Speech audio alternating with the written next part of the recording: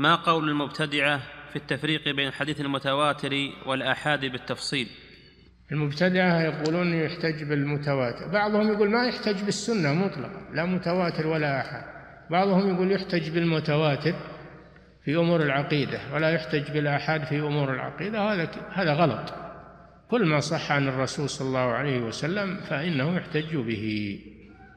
والمتواتر هو ما يرويه جماعة عن مثلهم. من بداية ما يرويه جماعة يستحيل مواطأتهم على الكذب عن مثلهم من بداية السند إلى نهايته. وأما الآحاد فهو ما ليس كذلك ما رواه واحد أو اثنان أو ثلاثة المشهور والعزيز والغريب. ما رواه واحد هذا غريب ما رواه اثنان هذا عزيز ما رواه ثلاثة هذا مشهور ما رواه أكثر من ثلاثة هذا المتواتر. الأحاديث المتواترة قليلة. لو ما نعمل إلا بها ما بقي شيء.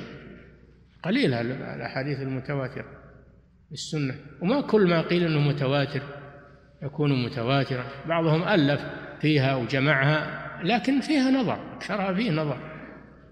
أكثرها فيه نظر. نعم.